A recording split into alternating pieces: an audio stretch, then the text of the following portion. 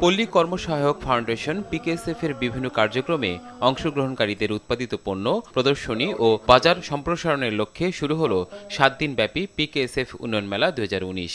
বঙ্গবন্ধু আন্তর্জাতিক সম্মেলন কেন্দ্রে, যার আনুষ্ঠানিক উদ্বোধন করেন প্রধানমন্ত্রী শেখ হাসিনা। দেশে তৃণমূল পর্যায়ের বিভিন্ন সরকারি বেসরকারি প্রতিষ্ঠান, গবেষণা ও তথ্য প্রযুক্তি এবং সেবামূলক প্রতিষ্ঠান সহ একশো প্রতিষ্ঠানের প্রায় দুশো স্টল অংশ নিচ্ছে এবারের মেলায়। উদ্বোধনী বক্তব্যে দারিদ্রতা দূর করতে প্রতিটি উন্নয়ন পদক্ষেপে টেকসই উন্নয়নের কথা মাথায় রেখে করা হচ্ছে বলে জানান সরকার প্রধান। চুয়াত্তর হাজার কোটি টাকা আমরা শুধু ব্যয় করি সামাজিক নিরাপত্তা খাতে।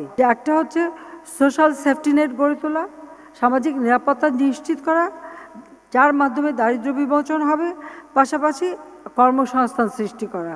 কৃষি জমি ঠিক রাখতে সরকারের নেওয়া পরিকল্পনা তুলে ধরে তিনি বলেন মানুষের মাঝে আত্মবিশ্বাস সৃষ্টি হয়েছে বলেই বাংলাদেশকে আর অবহেলার চোখে দেখে না বিশ্ববাসী। একশোটা বিশেষ অর্থনৈতিক অঞ্চল গড়ে তুলছি যেখানে সেখানে যত্রতত্র টাকা পেয়েই অমনি জমি কিনে মানে শিল্প করবে সেটা না।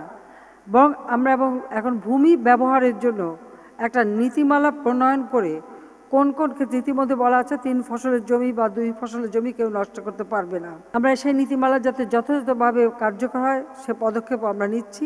অনুষ্ঠানে দারিদ্র বিমোচন, টেকসই উন্নয়ন ও মানব মর্যাদা প্রতিষ্ঠায় বিশেষ অবদানের স্বীকৃতি স্বরূপ সাবেক কৃষিমন্ত্রী মতিয়া চৌধুরীকে দেয়া হয় আজীবন সম্মাননা মারুফ রেজা আরটিভি ঢাকা।